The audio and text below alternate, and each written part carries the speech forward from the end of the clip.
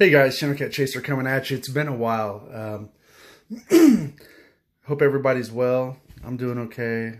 Uh, we're still working every day, so uh, which is good. Uh, did some work for a guy, and he wanted to trade a firearm for some work. So this is what I ended up with. So come with this uh, awesome Plano case. It's a little dirty. But yeah, you know how it is. And inside this box is something to be marveled. It's uh, it's something. So let's look in here. Oh, baby, look at that. Comes with a trigger lock, flat base plates, and the keys to the trigger lock. Two magazines, and bam, a SCCY CPX-1. This is the one with the uh, safety on it, I guess. Now, what I did notice about this pistol is it was dirty as hell when I got it. So I took it apart and cleaned it up, and I noticed that uh, the safety is actually cracked. I don't know if you can see that, but there's a crack in that safety lever. And the son of a bitch jams like a it jams like Whitesnake, baby. it's just it jams, it jams, it it jams on ball ammo, it jams on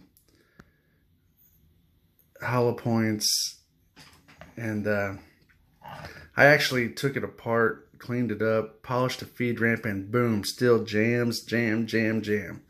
So my question to you guys is, is this thing worth keeping and sending in to SCCY and see if they, maybe it's a magazine problem. I don't know, but it it just will it. I don't know. It will not load around into the chamber for nothing.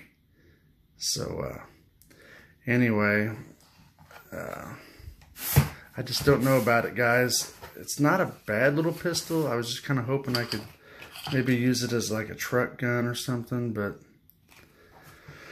it's so disappointing. It's just a sucky mess. So, I don't know. It's a nice looking pistol. It does not have very good grip texture or nothing, but anyway. Uh, if you guys uh, would leave in the comments what you think I ought to do with this, if I'd just freaking get rid of it or trade it off, you know, or maybe take a chance and send it in, I don't know. But anyway, guys, that's it. That's all I got for you today. I hope everybody's doing well and uh, uh, just do what you can do. Ammo Mafia is uh, actually working behind the scenes as we speak. There are a lot of things going on right now. Uh, we'll see. We'll see what happens. So, anyway, that's it, guys. Thanks for watching. We'll catch you next time. Leave something in the comments. We'll talk to you later. I'm out.